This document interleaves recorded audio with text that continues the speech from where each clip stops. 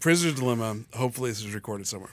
So basically, if you and I do a crime, and we're both uh, arrested, Okay. and they've got you in one jail cell, and they got one me in the other jail cell. It's it's a it's a matrix of outcomes. So situation one is you in you you admit to everything, and I stay silent. I get a harsher punishment, but you still get punished.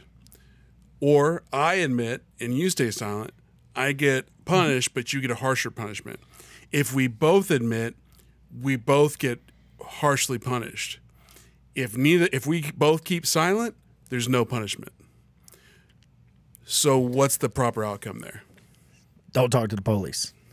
Now, I I've I told this to I told this to Braxton. But that's an this- economics thing. and I told this to baby mom number two. So I, I told him I was like, you know, we were we were driving back from San Francisco, and whenever um, I can't remember what happened. Somebody did cut us off or something, almost caused a wreck or whatever it was, and I was like, yeah, you know.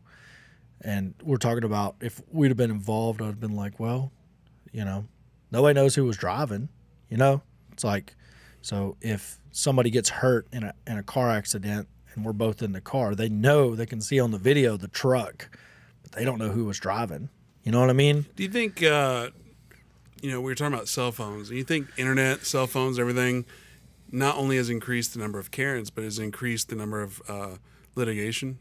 Definitely, definitely, yeah. And now everybody's got they. You're if you're smart to put a uh, camera in your vehicle that records while you're driving.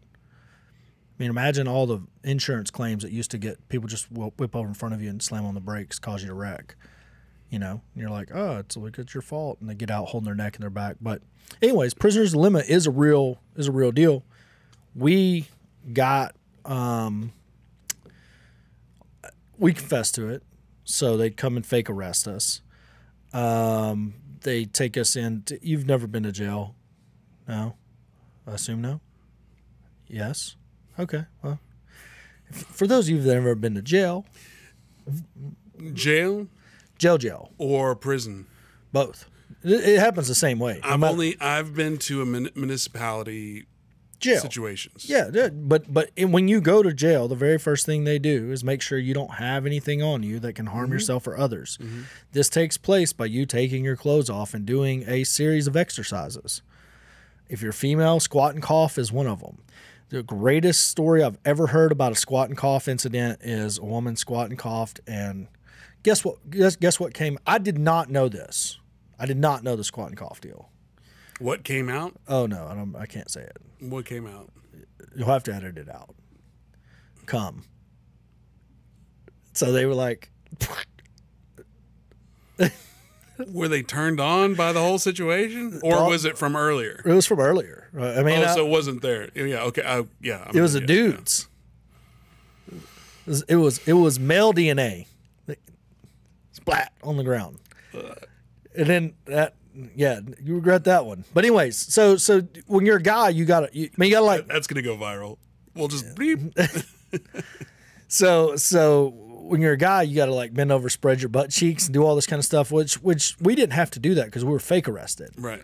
So they made sure they patted us down and all that, but they we didn't you didn't have to fucking grab your toes and spread your butt cheeks and do all the stuff that you got to do when you normally go into jail, depending on I, how th- I in think that's only for like uh, again. I'm not a prison expert or a lawyer or a cop, but I think that's only for like like extended stays. Yes. For like one, like a one or two night thing, like a if you weekend if, thing. if you just just like get a- taken into a holding cell for, Yeah. for being drunk, chances are you're not ever going to get issued clothes. right, right, If they issue your clothes, you're going to go through this. right. And th- there's that Super Trooper scene where they throw fucking um, powdered sugar on him. like Rice ate it. for the de- delicing. Yeah, the delicing. They do that. Like they not powdered sugar, but they delice you. Right. So it, I mean, it's a whole thing. Like it's a whole thing. You go through the whole process.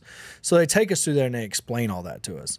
And then we're getting to the back, you know. So so fake arrested for stealing a bus. Now they're trying to scare us. Now they probably told the inmates, a portion of the inmates, that hey, we're coming. We're gonna walk them through general population, whatever. Talk shit to them because they were talking shit. And they now they might talk. I've been in jail. I've never been like, let me go to the front of this thing and talk shit to the people that are walking by. It's never like I'm just sitting there hoping and praying that these days pass. You know what I mean? Longest stint I ever did was I got went in on a Friday. I got out on a Monday morning, so it was a weekend, but it felt like forever. I didn't shit the whole time. It was terrible. So I was scared of the metal toilet. I was actually in the in the deal. Y'all ain't gonna be able to put this on there either. But I was in my cell. I got it whenever I did this weekend in jail.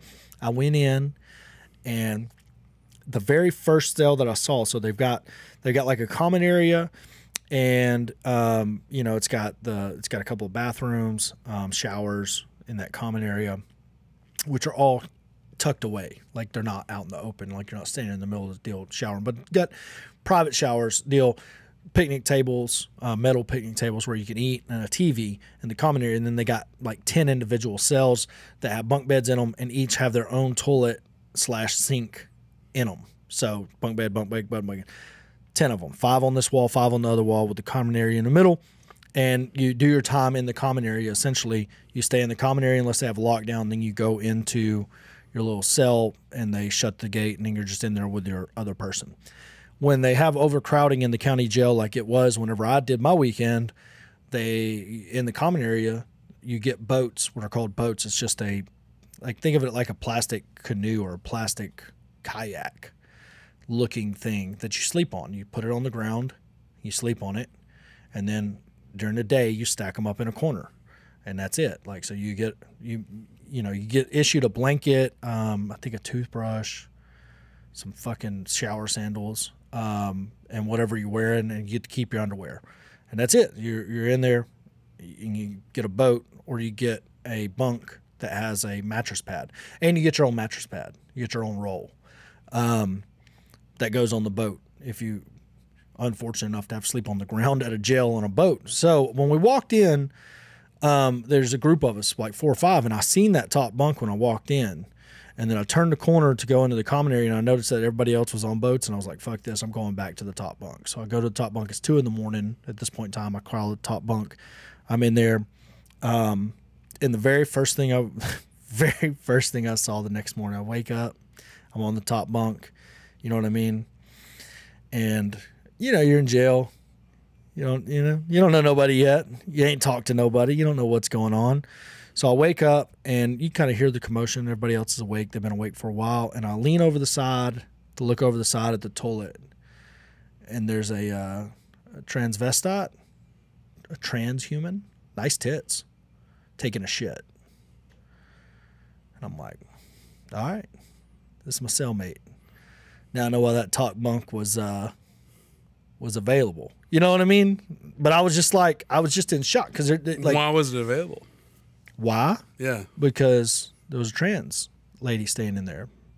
but what does that have to do with the top bunk?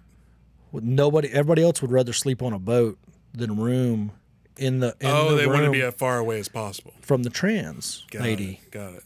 guy, whatever. I don't know, like male jail. You know what I mean? Like tattooed on makeup, definitely tattooed on makeup. No makeup lasts that long. Nice tits. All, you know what I mean? Like I, what can I say? She she. Yeah, I'd have hit on her at a bar, but now I'm in jail. I know you got a penis, so that's that's the best I can do. But but that was my my my very you know longest weekend in jail. But in this particular instance, when I stole the bus, I'm walking through the county jail, and they're they're scared, so they're talking shit to us. And then a guy I know, my dad's friend, you know what I mean, spots me. He's like, "Hey Corey, what's up?" He comes up. He's like, "Bro, what are you doing here?" And I'm like, "I don't know, man. I think I'm going to jail." He's like, "Oh no, you're not going to jail." You wouldn't be back here in your street clothes if you were going to jail. You'd be going to jail. I'm like, like thanks, Dad's friend, uh, for doing it. I'm like, I never expected to run in somebody I know at jail.